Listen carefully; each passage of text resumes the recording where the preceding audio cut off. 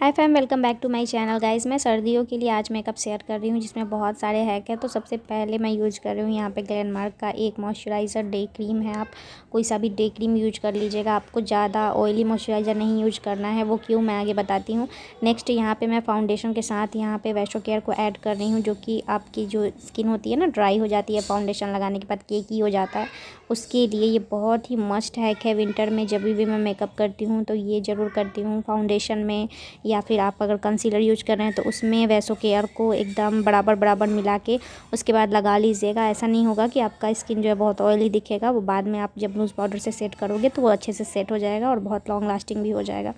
इसे मिक्स करके उसके बाद आप अपने फेस पे लगाइए। आप हाथ से भी लगा सकते हैं। मैं हाथ से नहीं लगाती हूँ क्योंकि मेरे फिंगर में लग जाता है फाउंडेशन और फिर ड्रेस भी ख़राब हो जाती है। तो आप वैसो केयर को फाउंडेशन में ऐड करते हो, उसके बाद आप अपने फेस पर लगाते हो तो वो बेस बहुत ही ज़्यादा क्लियर आता है और बहुत ही आपका जो फाउंडेशन है वो बिल्कुल केकी नहीं होता है। क्योंकि विंटर में ऐसा होता है ना कि हम मेकअप करके बाहर निकल जाते हैं, उसके बाद हमारा फेस जो है बिल्कुल केकी दिखने लग जाता है तो ऐसा बिल्कुल भी नहीं दिखेगा इस हैक से। आप ज़रूर ट्राई करके देखिएगा, चाहे आप फाउंडेशन यूज़ करो कंसीलर यूज़ करो या बीबी क्रीम यूज़ करो। तो उसमें आप इसे ऐड कर सकते हैं। उसके बाद हम ब्राउज़ कर लेंगे। फेस को मैंने उसके पहले सेट कर लिया था लूज़ पाउडर से। सेट करने के बाद तीन से चार मिनट का रेस्ट ज़रूर देना चाहिए। उससे हमारा मेकअप लॉन्ग लास्टिंग होता है और वाटर भी हो जाता है। नेक्स्ट मैं यहाँ पे ब्लश यूज़ कर रही हूँ। ब्लश के लिए यहाँ पे मैं अपना मैट लिपस्टिक यूज़ कर रही हूँ, क्योंकि विंटर में अगर आप पाउडर ब्लश यूज़ करते हैं तो वो हमारी स्किन को ड्राई कर देता है, पैची कर देता है। उसके बाद जो भी आपको आई मेकअप है, ये मैं जस्ट यहाँ पे आई शेडो के लिए ब्रीक हाईलाइटर यूज़ कर रही हूँ। देन उसके बाद आप काजल लाइनर जो भी यूज़ कर सकते हैं देन मस्करा एंड ये भी मस्करा का हैक है कि मस्करा को पहले आप स्ट्रेट करके लगाइए देन उसके बाद आप कर्व करके। इससे क्या है कि बहुत ज़्यादा ये वॉल्यूम आ जाता है आपके आई लेसेस में। ऐसा लगेगा कि आपने कोई फेक लेसेस लगाया हुआ है।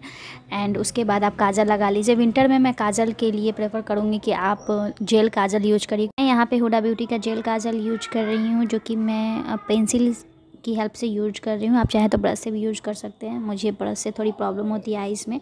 दैट्स वाई नेक्स्ट यहाँ पे लिपस्टिक के लिए मैं यूज़ कर रही हूँ। फाइव फाइव की लिपस्टिक एंड उसके बाद मैंने वेयर किया हुआ है, ये मैंने मीशो से इयर लिया था, जो कि इसमें आपको दो मिल जाता है कॉम्बो एक स्ट्रेट में, एक राउंड में। इसका भी मैंने रिव्यू आप लोग के साथ शेयर किया हुआ है। सारे प्रोडक्ट का लिंक मैंने डिस्क्रिप्शन में दे दिया है तो आप मुझे, वहाँ से जाकर देख लीजिएगा एंड कमेंट करके बताइएगा कैसा लगा आप लोगों को वीडियो इस वीडियो में बहुत सारे छोटे छोटे हैक है, जो कि विंटर मेकअप के लिए बहुत ज़्यादा इंपॉर्टेंट होता है।